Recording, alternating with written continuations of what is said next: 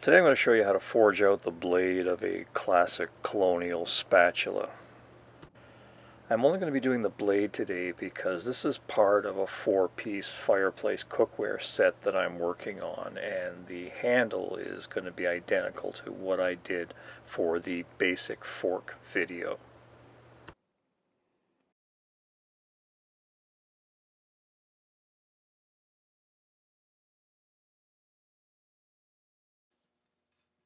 Blade for this spatula is going to be made out of a quarter by inch and a half piece of flat bar and I'm going to be welding that to a piece of 3 8 square bar, the same material that I used for the basic fork video.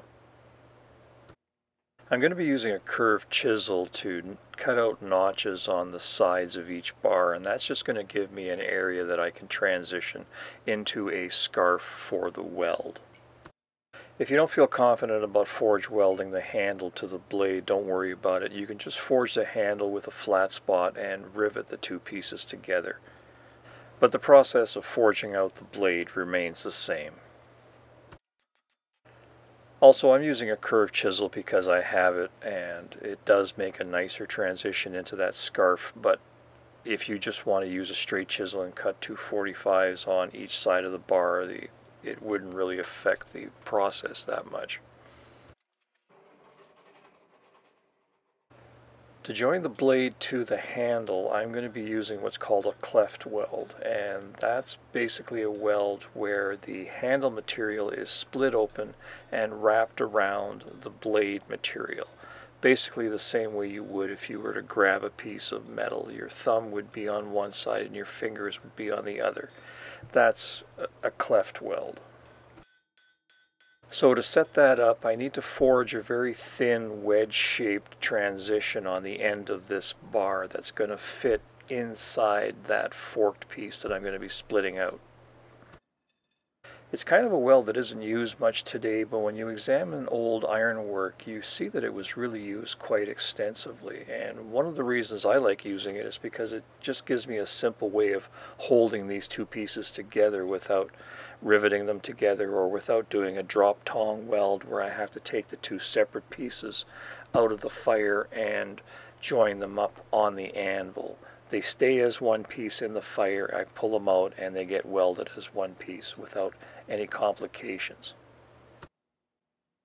So here I've just been spending a few seconds trying to figure out how I'm going to lay this on the anvil in order to be able to cut this to length, you know, which marking I'm going to use on this ruler. So I've decided to just position the top shoulder of the bar at the end of the ruler and then count back four and a half inches, which puts the mark fairly close to the center of the anvil, which makes it easy to figure out. I'm placing a chalk mark on the metal because from here it's going back in the fire and I want to make sure that that part is in the hottest spot of the fire. It'll be gone, of course, when I bring it back to the anvil. That's why I need the ruler to let me know where that mark is.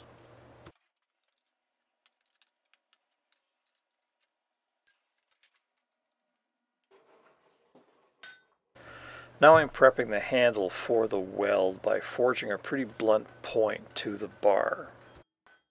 This is an optional part of the process. All this is doing is just pre-shaping the end of the bar so you have a little bit less forging to do when you have this cleft split open and you're refining the ends. As you'll see in a moment, this can easily all have been done as one process after I split it open, so it's up to you how you want to go about it. I'm sorry about the shaky video, but the ground's still frozen here, so the vibrations from the anvil are traveling right up the tripod and affecting the focus. But this is just a basic split. It doesn't have to be that pretty or that even for that matter. It's all going to get forged into one piece eventually anyway, and hopefully it'll be invisible. The important thing is to have very thin edges at the tip of the cleft weld so that it blends very easily and evenly into the blade material.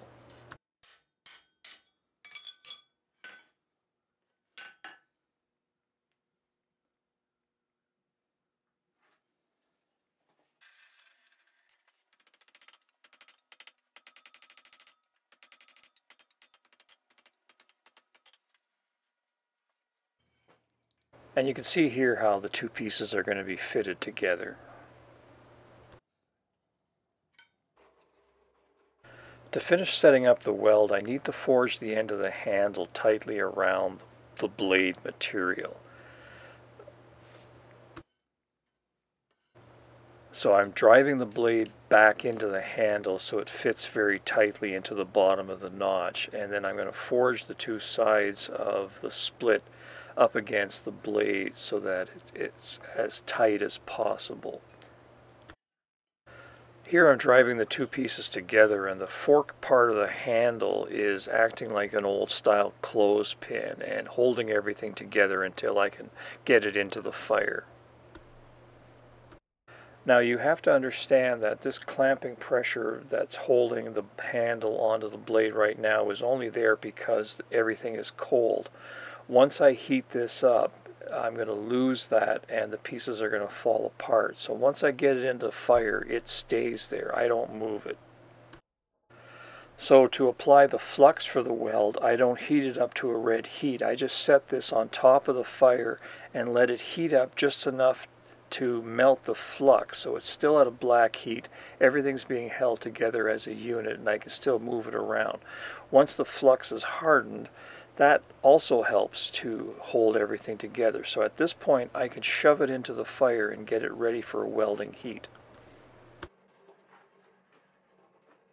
So it's a few minutes later I have a welding heat and now you finally get to see the point of all this. If I had to take these two separate pieces out of the fire and weld them conventionally by trying to lap them on the anvil and doing a conventional what's called a drop tong weld, I would probably have a 1 in 3 chance of getting it done. But because I'm using a cleft weld, I can do this and actually set the weld in the fire. And now I can take the piece out as a unit and go straight over to the anvil and finish the weld. I wouldn't normally be shaking it around like this. I'm just trying to show you that the piece is set and I can treat it as a unit and not have to worry about the two pieces falling apart. So by taking a little bit of extra time to set up the weld, I can increase my success rate dramatically for getting this weld together. And here you would just proceed as you normally would and use as many heats as you need to blend the two pieces together.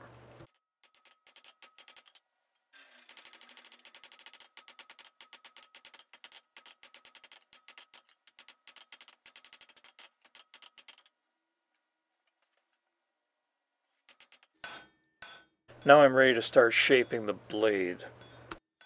The first thing that you need to do is create an offset that's going to divide the upper part of the blade from the lower section of the blade.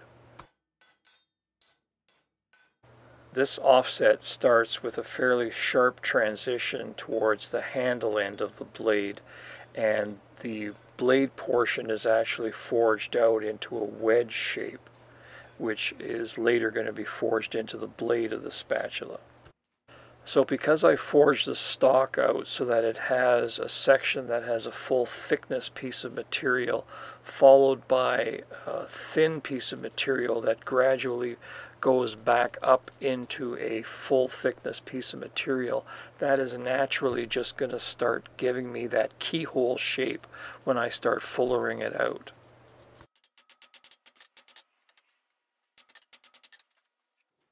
Now I'm ready to start fullering out the blade of the spatula.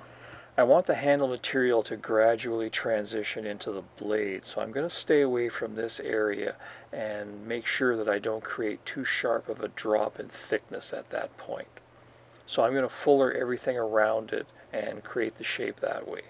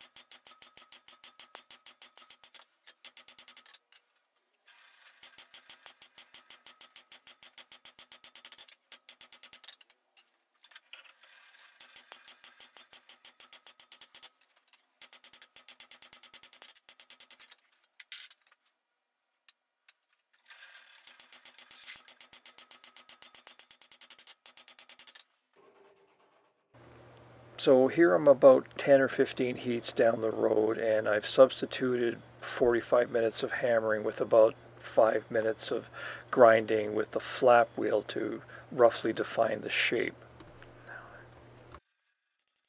And now I'm going to be taking a series of very low temperature heats just to knock off the scale and put the final hammer texture onto the piece.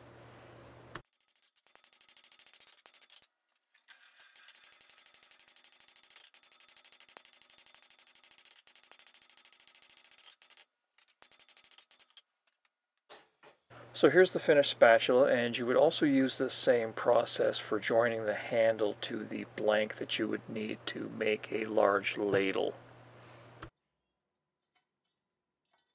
Hi, I'm Dennis and thanks for watching. If you're interested in supporting this channel and you can spare $2.50 every month, click on the Patreon logo at the bottom of the screen.